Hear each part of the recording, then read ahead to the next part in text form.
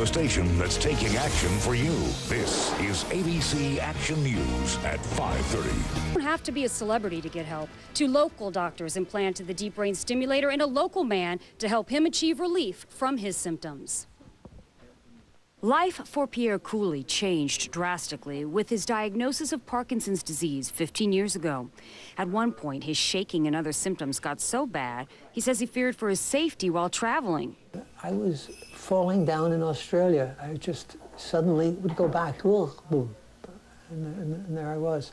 And it was terrible in street corners. And uh, so, I mean, it's embarrassing too. That changed when he had a deep brain stimulator implanted in his brain.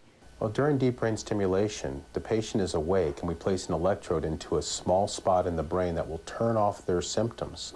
We watch their symptoms go away during surgery and then we hook them up to a generator uh, later on so it can turn off their symptoms after surgery. Dr. McKalip's partner demonstrates how the stimulator works.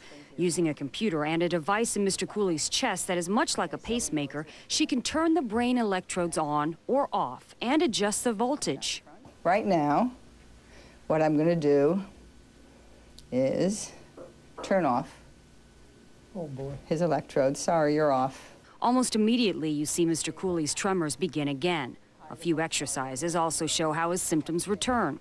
Once the stimulator is turned on again, and pretty much uh, right away, his tremor got much better. Mr. Cooley realizes he'll never have his full life back, but says the stimulator has helped him become more active and it made, made it possible for me to take less medication. And by the way, you can catch Michael J. Fox's one-hour special Adventures of an Incurable Optimist tonight at 10, right here on ABC.